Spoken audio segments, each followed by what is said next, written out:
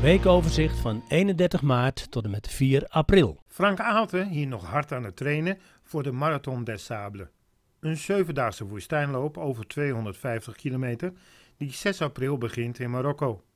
Vlucht AT851 en 461 is hij afgelopen zondag 30 maart vertrokken richting Ouarzazate, de provinciehoofdstad met zo'n ongeveer 100.000 inwoners, waar hij zich samen met Bart en Tom zich verder voorbereidt op deze woestijnloop. De komende week probeert RTI u zoveel mogelijk op de hoogte te houden hoe deze loop verloopt voor Frank, Bart en Tom.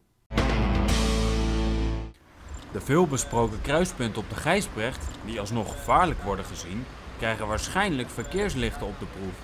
Dit voorstel wordt behandeld in de commissie Verkeer 14 mei aanstaande. Toekomstige verkeersregelaars hebben in het kader van een opleiding de afgelopen dagen het verkeer moeten regelen op de kruising Schavenlandse en Geert van Mesdagweg. De verkeerslichten waren uitgeschakeld en onder toezicht van de politie moesten de verkeersregelaars het wegverkeer zo goed mogelijk in goede banen leiden. Of dit is gelukt, laten we in het midden.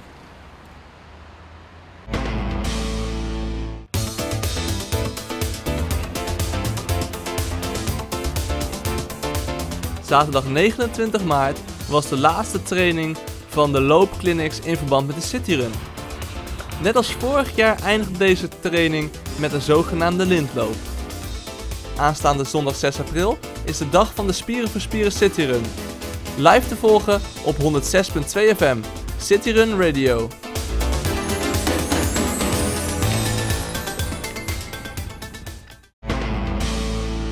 In de aanloop van Spieren voor Spieren Cityrun is dit het eerste item met Inge Koningsbergen en haar zoontje Timo van 7 dat een spierziekte heeft.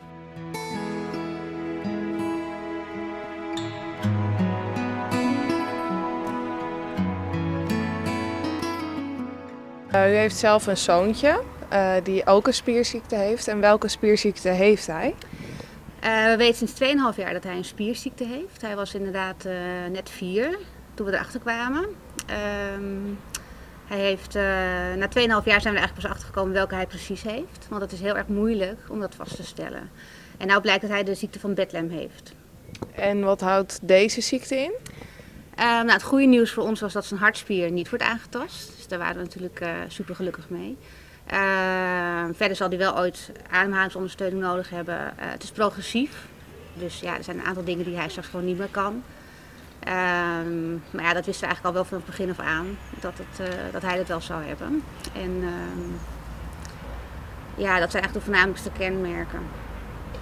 Waarom duurde het onderzoek zo lang? Nou, dat is een goede vraag. Uh, het is heel erg lastig te bepalen welk gen of welk foutje in het DNA eigenlijk uh, niet klopt. Um, het is zo'n complexe materie. En uh, bijvoorbeeld de ziekte die Timo heeft, de ziekte van Bethlehem, dat hebben minder dan 100 mensen wereldwijd.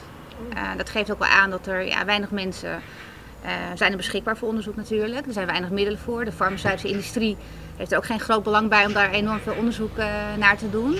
Dus zo'n stichting als Spieren voor Spieren, die maakt eigenlijk heel veel mogelijk. Want zonder dat onderzoek en zonder de juiste uh, diagnosticering, zeg maar, weet je eigenlijk heel veel niet. Terwijl het onwijs belangrijk is om te weten welke spierziekte precies ja, het speelt. Is deze ziekte erfelijk? Nou, Timo is de allereerste in onze beide families. we hebben allebei een hele grote familie sinds we weten wat hij heeft, dus eigenlijk pas sinds kort, uh, kunnen we ook inderdaad de erfelijkheid bepalen. En nou blijkt dat hij geen erfelijke soort heeft, dus het is bij hem uh, gemuteerd, bij hem is het begonnen. En dat is eigenlijk wel weer een geruststelling ook voor alle nichtjes en neefjes, voor de kinderen van onze kinderen. daarom is het eigenlijk heel belangrijk om die prognose echt duidelijk te hebben. Timo groeide gewoon op als een vrolijk, gezond kindje, zo leek het. En ehm, hij kreeg op een gegeven moment wat meer moeite met traplopen. Rennen ging ietsje anders dan bij andere kinderen. En waar je normaal gesproken bij een kleuter van 3,5 nog denkt van nou dat wordt een stijgende lijn, ging het bij hem juist steeds iets slechter. Dus toen zijn we uiteindelijk even bij de huisarts langs geweest die het gelukkig gelijk herkende. Uh, want wij dachten eigenlijk, nou we gaan tien keer naar de fysio en dan zijn we klaar. Maar die zei, nou laat maar eens uitsluiten dat het geen spierziekte is. En zo kwamen we in het AMC terecht. En die uh, kon al heel snel zien ja, dat er wel degelijk om een spierziekte ging. Maar hoe zijn jullie eigenlijk bij Spieren voor Spieren gekomen? Nou, we wonen nu ongeveer drie jaar in Hilversum en eh, de Nike City Run kennen we al wel. Die werd net toevallig omgezet naar de, de Spieren voor Spieren City Run. En mijn man vond het toen heel leuk om eh, mee te gaan lopen. Eh, omdat we heel direct natuurlijk wat konden doen. Je kan eigenlijk niet zoveel doen aan spierziekten, er zijn geen medicijnen. Dus op deze manier kon hij zijn spierkracht inzetten om aandacht te vragen voor de spierziekten in het algemeen. En dat heeft hij gedaan en hij heeft het gedaan met een sponsoractie. Hij had best veel geld opgehaald en toen heeft hij uh, ja, op die manier het afgelopen jaar zich vaker ingezet voor de stichting. Kan je mij misschien uh, vertellen uh, wat jij hebt? Spierziekte. En welke spierziekte heb je? Bedlam. En wat houdt die spierziekte voor jou in? Zeg maar, wat merk je ervan? Ik kan moeilijker traplopen. Ik kan moeilijker rennen. Ik kan moeilijker fietsen. Dat vooral eigenlijk, hè? En moeilijk opstaan. Oh ja. ja. dat is eigenlijk een beetje het allermoeilijkste nu. En ga je zelf nog wat doen bij uh, Spieren voor Spieren? Ja.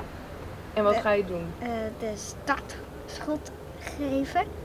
Zo, en wat vind je daarvan dat je dat mag doen? Leuk.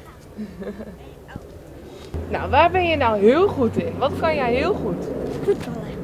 En wat kan je nog meer? Lezen, schrijven en spelen. en dan heb je ook helemaal geen last uh, van de ziekte? Soms wel, maar soms ook weer niet.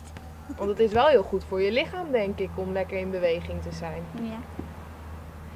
Ook dit jaar zal de inmiddels 9-jarige Timo het startschot geven. Dit doet hij samen met burgemeester Pieter Broortjes.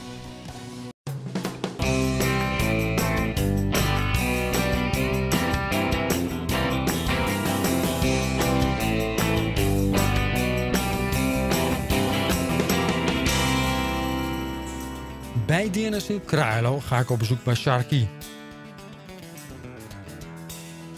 Sharky is een Sharpie. Hij is 7,5 jaar, is vriendelijk en eigenwijs. Kan niet goed alleen zijn en we zoeken een baasje die interesse heeft in de Sharpie.